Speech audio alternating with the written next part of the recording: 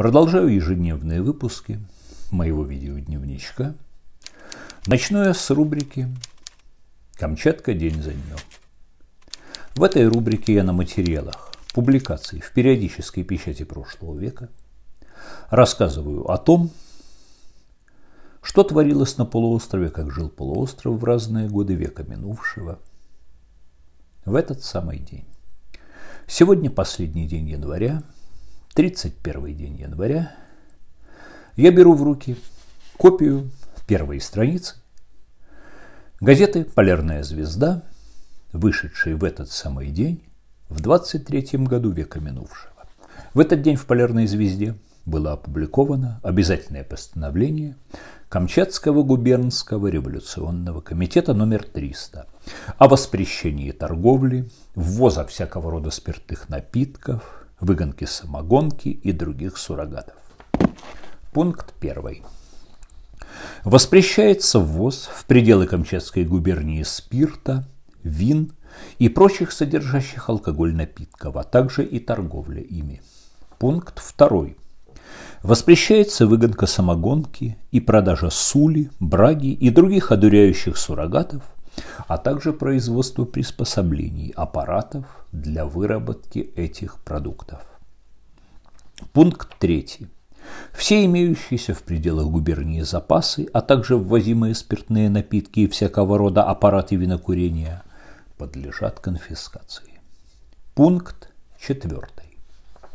Все лица, уличенные в ввозе спиртных напитков и других суррогатов алкоголя подвергаются в первый раз денежному взысканию от 300 до 1000 рублей золотом или тюремному заключению от 3 до 6 месяцев с принудительными работами во второй раз денежному взысканию от 1000 до 10 тысяч рублей золотом или преданию суду по статьям 97 и 140 Уголовного кодекса РСФСР. Пункт 5. Все лица, уличенные в продаже спиртных напитков и спиртосодержащих веществ, подвергаются в первый раз денежному взысканию от 300 до 1000 рублей золотом или тюремному заключению от 3 до 6 месяцев с принудительными работами во второй раз, денежному взысканию от 1000 до 10 тысяч рублей золотом или преданию суду по статье 139 Уголовного кодекса РСФСР. Пункт 6. Лица, увлеченные в выгонке самогонки, браги и других суррогатов, и занимающиеся производством аппаратов и других приспособлений для выгонки спирта, содержащих веществ, подвергаются в первый раз денежному взысканию от 100 до 400 рублей золотом, тюремному заключению от 2 до 4 месяцев с исполнением принудительных работ второй раз – денежному взысканию от 500 до 1000 рублей золотом или преданию суду по статье 140 Уголовного кодекса РСФСР. Пункт 7. Все лица, появившиеся в общественных местах и на улице в пьяном виде, будут подвергаться в первый раз денежному взысканию до 25 рублей золотом или принудительным работам от 10 до 20 дней – при проявлении же во второй раз в пьяном виде будут преданы суду. Борьба с пьянством – хорошая штука. Я ее всесторонне поддерживаю и одобряю. И хорошо, что иногда большевистская власть следовала тенденциям, которые начались еще при законной власти государя-императора. Это был выпуск рубрики «Камчатка день за днем», 31 день января. Мы читали газету «Полярная звезда» 1923 года, но выпуск еще не закончен.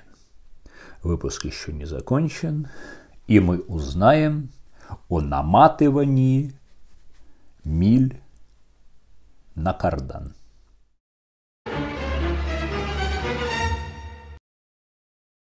Итак, мы приступаем. Узнавайте. У полузабытого, русскоязычного киноартиста и певца ртом в 60-е и 70-е годы, жившего в Москве, была строчка «Наматывая мили на кардан». Эту же строчку повторил камчатский поэт Владимир Татауров в своей поэме. Но на самом деле наматывать мили на кардан просто невозможно, потому что кардан находится параллельно дороге, по которой движется автоматический мобиль. Один, плохо знающий русский язык, русскоязычный сочинитель сочинил строчку, другой поэт ее повторил, не задумываясь о том, что именно он повторяет. А как же на самом деле движется кардан? Вы хоть раз видели это? Давайте посмотрим. Это происходит вот так.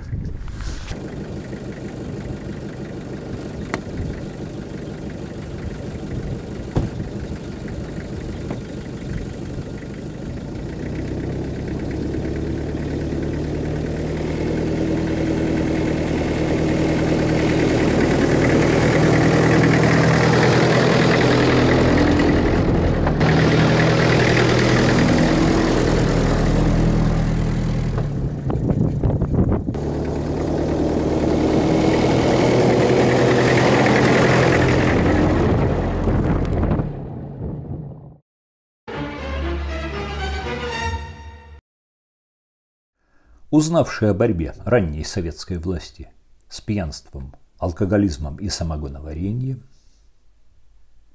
а еще узнав о Кардане, мы плавно переходим к любованию столицей Камчатского края.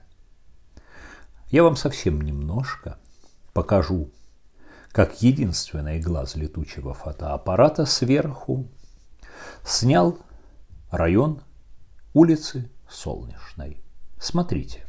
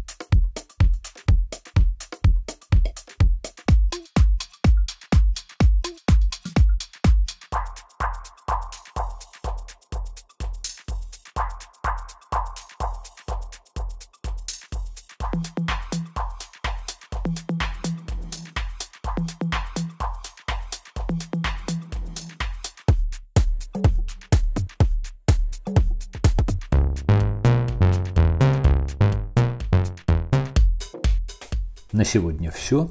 Это был последний день января. Мы читали старый документ, мы любовались Петропавловском, мы узнавали, можно ли намотать мили на кардан.